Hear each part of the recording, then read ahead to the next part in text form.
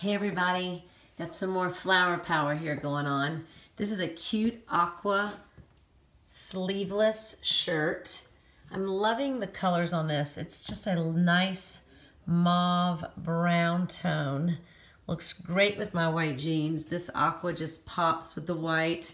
I've got some mauve, kind of a rose blush wedge on.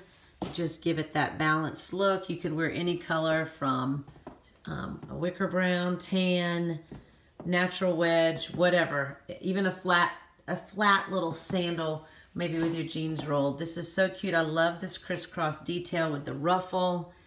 Um, just very flattering. I have it still paired with our little fan earrings. I had a necklace on that we're about to show, but I just love these earrings with it just to give it a fun look. And the necklace fit right here and looked great, so you could certainly wear one, but I just like these earrings with this.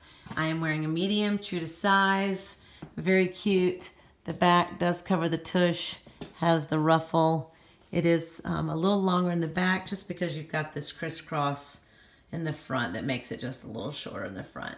All right, comment sold.